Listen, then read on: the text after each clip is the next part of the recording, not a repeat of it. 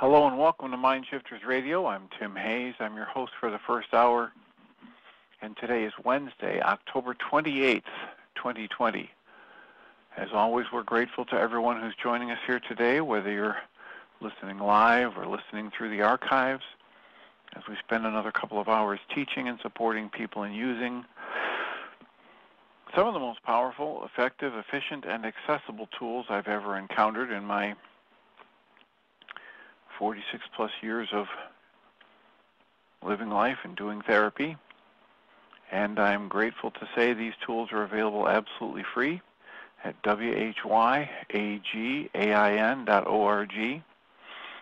If you go to that website and click on the red and white bullseye or the link in the upper left-hand corner of most pages that says Start Here, it'll take you to a page where you can download Chapter 24 of Dr. Michael Ryce's book. The book is titled Why Is This Happening to Me Again? And it's a narrative description in that chapter of the primary tool in this work. That tool is called the Reality Management Worksheet, alternatively called the Reality Management Wake Up Sheet. And you can read all about it there. You can also, from that same page, download the actual worksheet, a PDF file. You can also download a host of audio files of shows just like this one where people have been stepped through that process or asked questions to clarify the process or given testimonials about how the application of that process has made significant positive improvements in their life. You can also go to your app store and download the completely free and private app if you search for the three words Heartland, H E A R T L A N D, all one word, Heartland, Aramaic, A R A M A I C, and forgiveness. By the time you start typing the word forgiveness, you'll see the glowing heart icon, and you can click on that and get access to a completely free and private app that will let you have the seven-step worksheet process, an abbreviated version of that process, and a copy of the Dragon Klingon game, which is a wonderful way to introduce these tools to even younger audiences. And we encourage people to do that soon and often, and then give us a call. Our call-in number is 563 999 3581. And if you call that number and press 1, it'll put a little question mark by your phone number, and I'll announce you by your area code, and we can have a conversation. We can have a conversation about these tools. We can have a conversation about the way to apply these tools, the benefit in my life uh, of applying these tools, and and that benefit just keeps keeps multiplying and amplifying. Um, we were talking yesterday about how right before the internet show, I read an email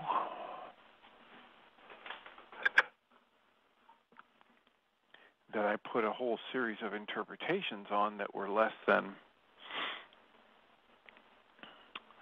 less than positive, less than loving. And it resonated all kinds of negative emotions in me. And we were talking about, well, several different people had comments or questions. And so it turned into a bit of a dialogue there near the end of the show. And, and rather than me doing the worksheet on the show, I entertained some questions about it and talked about how I would apply it and and then we wrapped up the show with the commitment that I would do some of the worksheet processing about the negative emotions I had generated yesterday.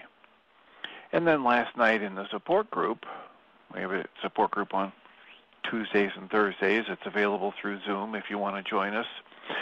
The information about that is at mindshiftersacademy.org.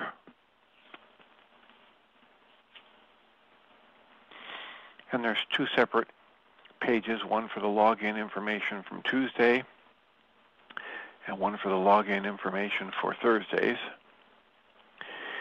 And so I did a a worksheet in the support group last night, and then I've done a whole series of them uh, later last night, in the middle of the night, early this morning, before choosing to respond. And the point of the work that we teach in this in our Mindshifter support group and on this internet show, the point is that contrary to what my culture teaches me, I'm not angry or hurt or sad or scared because of an email someone wrote me. Even if that email is overtly insulting, even if it's loaded with swear words and uh, accusations and so what we what we observe so clearly and fundamentally and repeatedly in this work is that it's the interpretation I choose and then apply to whatever events occur in my life that's responsible for the way I generate the emotions I feel. And, and it's the interpretation that I decide on or choose, depending upon whose vocabulary you want to use, whether it's just an automatic reflex response or it's an actual considered choice of many varied options. But it's the interpretation I'm using that holds the thoughts that when I pour enough of my mind energy into those thoughts, that's what generates my emotional state. So when I read an email from somebody who was questioning my credentials and my um, and the validity of my working with a certain client right before the show yesterday, and I generated anger and uh, righteous indignation and um, you know punishment thoughts, and that was all happening inside me, and was completely independent of this other therapist writing an email. And I know that because I've been working with these tools for enough years to know that that's the actual dynamic resides within me.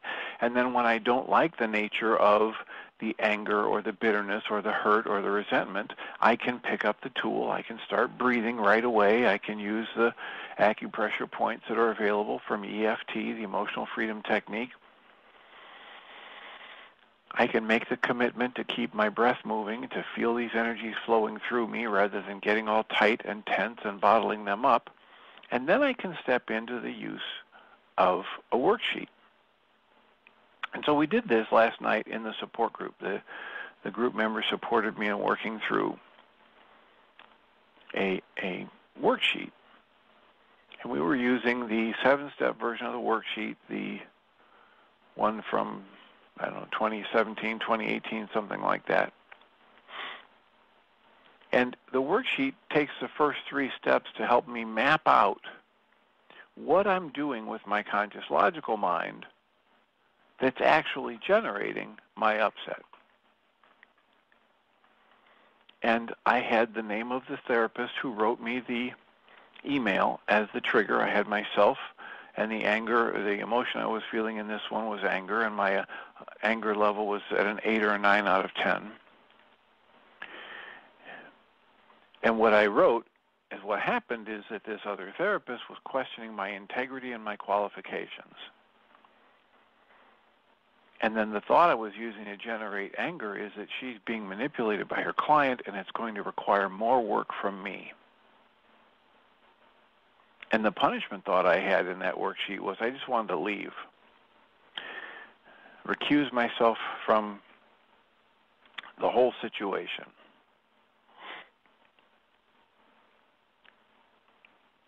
And the goal that I had for the other therapist was for her to be more professional, more respectful, and more responsive to the needs of the family.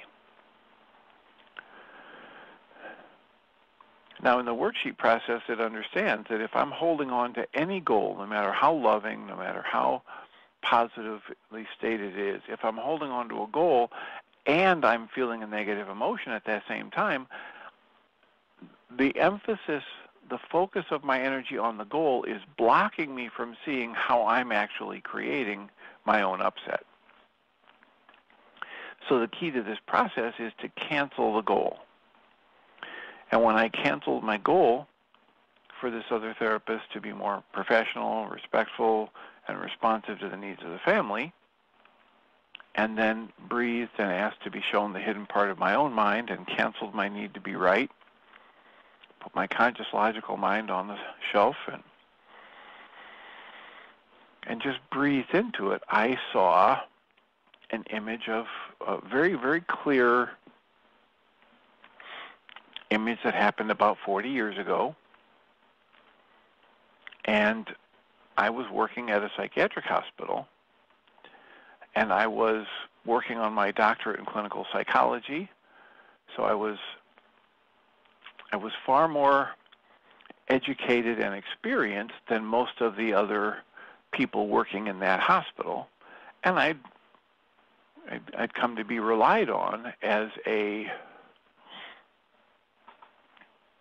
a leader on two or three of the units.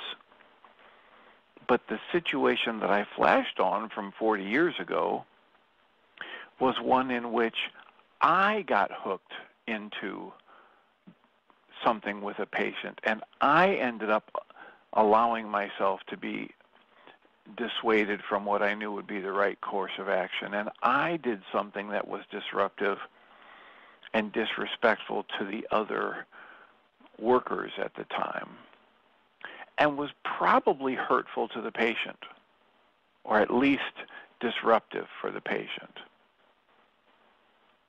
And I was blinded to it, and I just carried right through as though everything was fine, and it wasn't until a day or two later when I realized the hostility coming at me from coworkers that something was out of whack. And when I asked about it, one of them was brave enough to tell me, you know, you were a really jerk the other day when you did this. And then, and only then, did I see how out of line I had been. And I had shame, and I had r- remorse, and I had sadness. And that was a very potent memory. I had some tears come up when I remembered it last night in the group, and I made notes about it. I made notes about. I can still see the the woman's face from back then, who was the one who was brave enough to confront me about my misstep. And took a breath, and I, I was no longer feeling the anger that I was at the beginning of the worksheet. I was aware of the sadness and the shame that was re- echoing and reverberating in me from that time 40 years ago. So I breathed and finished up the worksheet by making a commitment to canceling do a mass canceling of all the times I've ever wanted anybody to be more professional and responsive and respectful. And I left with a, the, the goal to do at least two more worksheets before responding to this other therapist's email. And the interesting thing happened that in the beginning, in the first step or two of the worksheet, it flashed into my mind the thought, you know, maybe I could do a responsibility communication worksheet, which is another tool that's available on whyagain.org. And as soon as I had that thought, another voice in my head said, "Screw that. You're not doing that. This this person doesn't deserve that. You aren't going to make yourself open like that." And a very strong resistance to, and it was a part of my mind thought about using that tool, and another part of my mind said, "Screw that, you're not doing it." And then at the end of the worksheet process, when I set my goal to do at least two more worksheets before responding to her email, I found myself writing and perhaps responsibility communication with with you know um, a little trepidation, but nothing like the vehement refutation of earlier. And I graced, I, I judged my upset level at about a four, from like a nine down to a four in that one worksheet process. And so then we breathed a little bit and talked about it and answered some questions from people, and then somebody else did a worksheet in the group. And uh, somebody asked me about my worksheet. You know, did I feel like it, it, it, it was worthwhile, that it, it did anything? And one of the things that I I used as a marker for yes, this was a useful worksheet was that my upset level had gone from a 9 out of 10 anger down to about a 4 out of 10 on the anger. But I was also introduced to the energy, the emotions of sadness and shame. So I had more revealed that I could do worksheets on.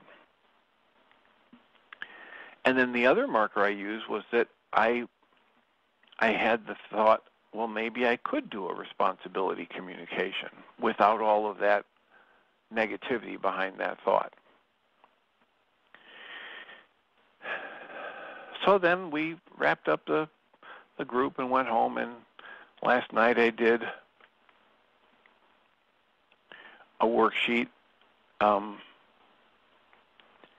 or two, and then this morning I did one on um, on waking at 4:30 in the morning, wide awake, thinking about this, thinking about how it really I'm feeling a sense of urgency to get coordinated communication between myself and this other therapist for the benefit of this family. And so I did the worksheet on one of the levels of sadness.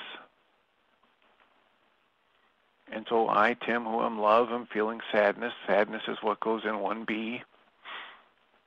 And 1C is this other therapist again, and what's happening is that she's questioning my experience. And then the thought I was using to generate sadness was that her refusal to make time to talk with me will deprive this family of the help I might offer. And my punishment thought for her was shutting down and blasting her with anger and then shutting down and leaving. So in the worksheet process, then we reconnect with loving energy and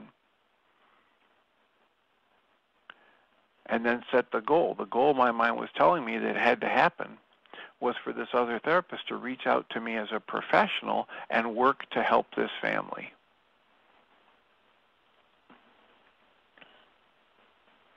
So I breathed and I reconnected with love and I got some good loving memories going in my energy system. And then I canceled that goal because I know as long as I focus on someone or something outside of me or even focus on changing something inside of me with my conscious logical mind, I will block the flow of insight that might reveal to me the true nature of my upset.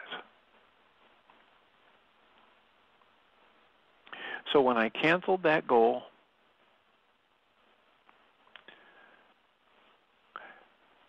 around having this person talk to me, reach out to me as a respectfully as a professional so that we could help this family, I really tapped into some deep sadness that went back to when I was 21 years old.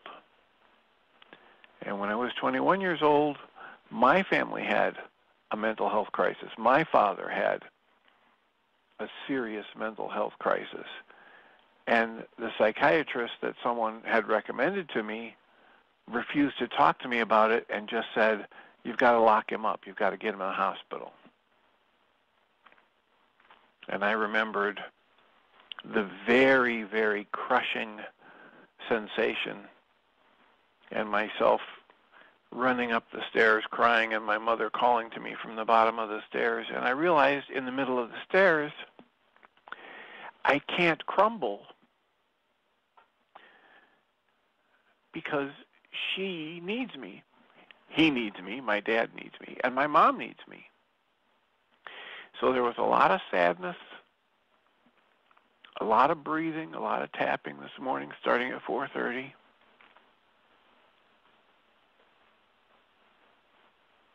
And the value in the worksheet is it helps demonstrate to me one more time that the upset, the sadness, the anger, the righteous indignation, whatever it is that I think I'm feeling in this moment because some other therapist is or is not doing what I want them to do, is clearly not the cause of my emotions.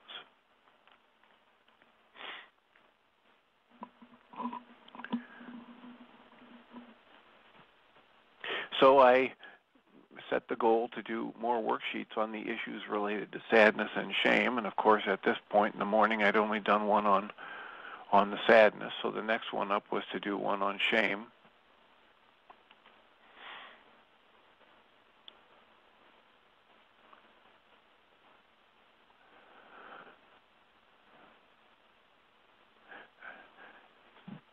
But um, apparently, what I ended up doing was one on anger and I did it the worksheet on the memory of being 21 years old and reaching out to a mental health professional for help with my father and having that person refuse to listen to me and just give me no options but to lock my dad in the hospital. And the thought I was using to generate my anger back then was he won't listen and he won't take the time to work with us. And at the time, my punishment thought was screaming at him. Of course, I, I didn't do that on the phone. I did that after I hung up the phone. And my punishment thought for myself was just to shut down. I was in the process of running up the stairs to my bedroom to cry myself into oblivion when my mom stopped me and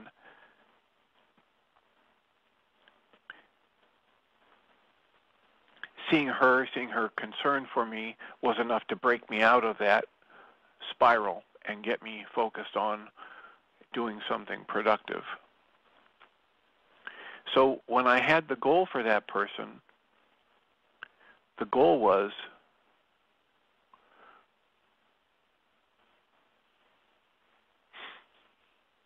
to have that psychiatrist at the time work with us and take the time to listen and understand the whole situation.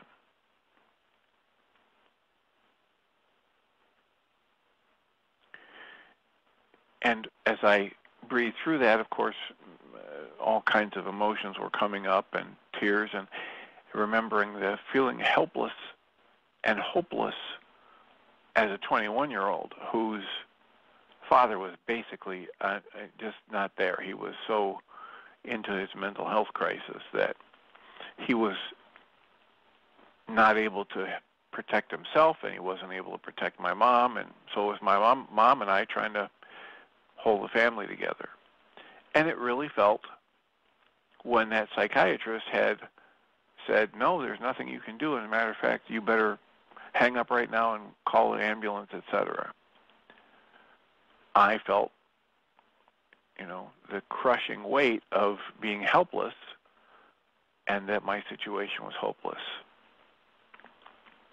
So I breathed through that and ended up with uh, that particular worksheet went from a level four of anger down to a, a level six of anger down to a level four of mostly the emotions around feeling helpless and hopeless.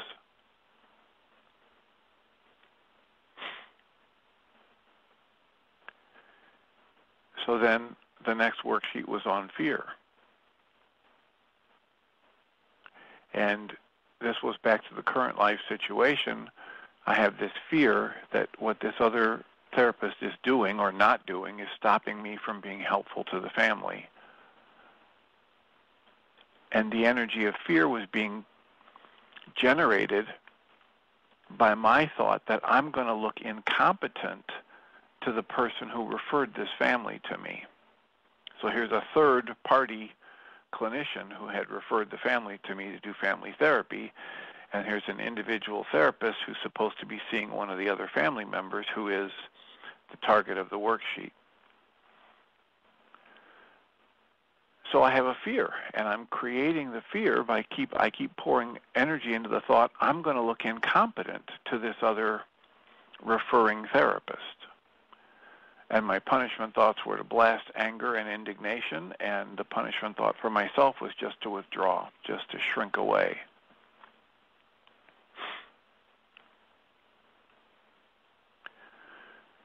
So the goal I set in that worksheet was for this other therapist to reach out and coordinate with me in a professional manner. And when I canceled that goal and asked to be shown the hidden part of my own mind, I saw, again back to the time when I was 21, my fear of disappointing or looking incompetent to this lifelong friend of my father's who I had reached out to for help in trying to stabilize my father and save his job and you know and this person was so close to us in the family that we called him Uncle Max instead of Mr. So and so. And he was a psychologist and he was one of my father's heroes and good friends and a roommate after college and and I just felt this tremendous pressure to be useful, to perform, to somehow avoid disappointing this person of respect. And so again, you know, the, the dynamic that I, my mind is telling me, I'm really worried that I'm going to look inept or ineffective to the person today who referred me this patient. And it's really just an echo of an old download of emotions from when I was 21 years old.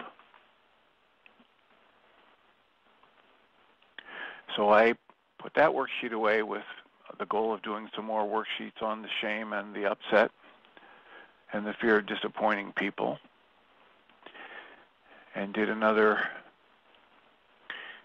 worksheet, this time on the shame of how I felt so inept when I did this thing 40 years ago that I mentioned earlier, where I had made a misstep as one of the heads of the psychiatric unit for these on this adolescent ward, and I'd basically undermined the authority of other coworkers and been out of line and just been blind to it until after the fact.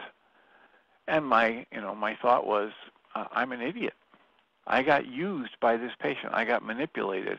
I um, disrespected my fellow workers. And so the goal for me in that worksheet was for me to be perfect and professional at all times. And again, I realize if I hold a goal like that and there's any shame in me, if there's any anger, any fear, any upset, the more I focus on the goal, the more I keep myself from having access to the root, the actual cause of that emotion of shame. So I breathed through it and did the meditative release and asked to be shown the hidden part of my own mind that was actually creating this upset. And I saw a whole series of events seemed seemingly spinning too quickly for me to get a hold of where I felt inadequate, ranging from grade school through high school and college.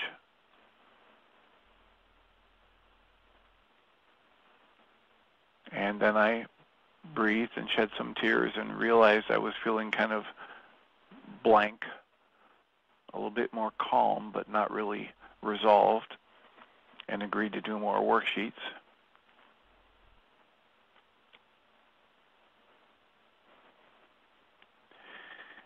And then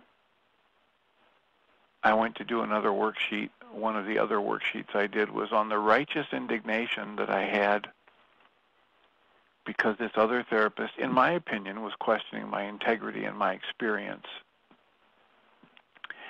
And the thought I was using to generate that righteous indignation is that she's narrow minded, and with her being narrow minded, it's going to hurt this family.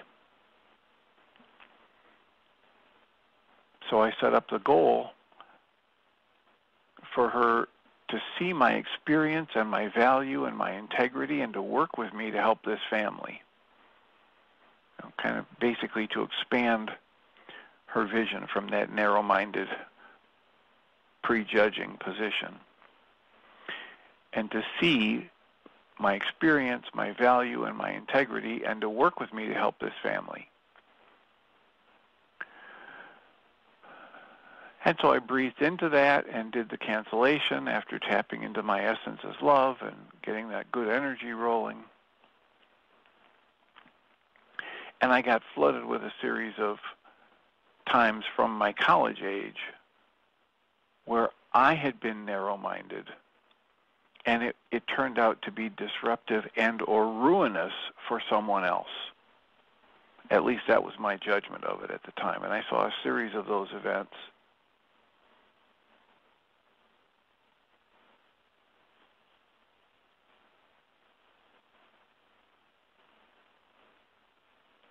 And then I made a commitment to do another worksheet on, on myself being narrow-minded because I I had some specifics I could work on from the college years.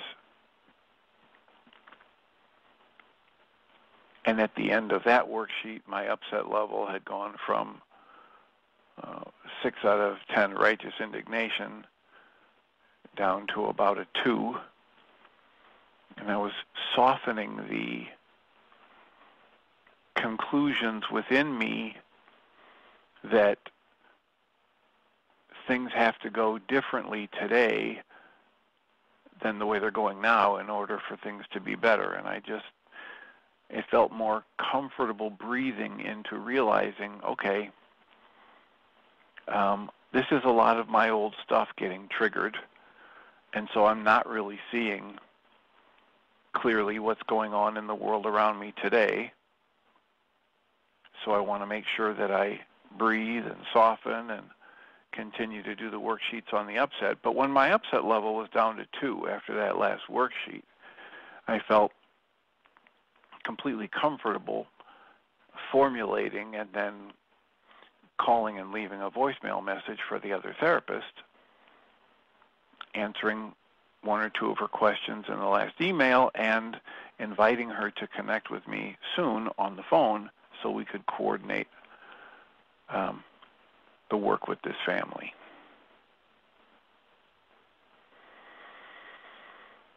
So that's the processing that I had made the commitment to do and share today. And I'm aware that there's still some energy of emotion, although most of the emotion today, most of the tears today are about appreciation and gratitude and and and relief and, being able to sit with a more solid feeling uh, of myself and of my work and understanding that with a willingness to continue to do the use of these tools, perhaps even the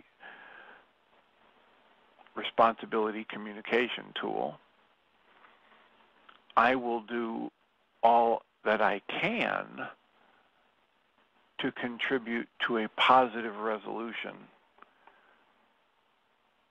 to the communication with this other therapist and to the interaction with this family for whatever therapy I might continue to be involved in. So that's my offering for today. It's we have 24 minutes left. Our call-in number is 5